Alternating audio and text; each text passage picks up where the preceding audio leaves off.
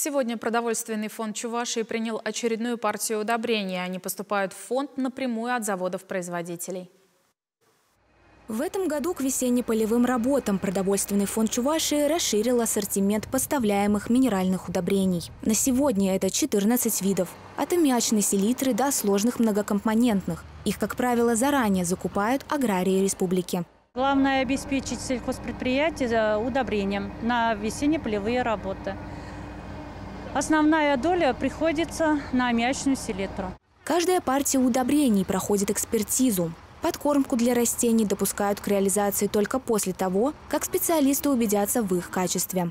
Темпы закупки минеральных удобрений в этом году они выше уровня прошлого года. И один немаловажный момент, э, что данное предприятие, вот закупая удобрения у производителей, значит, э, каждую партию приобретенных минеральных удобрений представляет на анализ э, Центра агрохимической службы Чувашский. Фасовка удобрений различная. Крупные сельхозпредприятия, как правило, берут сразу большую партию. Небольшие фермерские хозяйства – мешки поменьше. Анна Лобанова, Алиса Александрова, Святослав Петров, Вести Чувашия.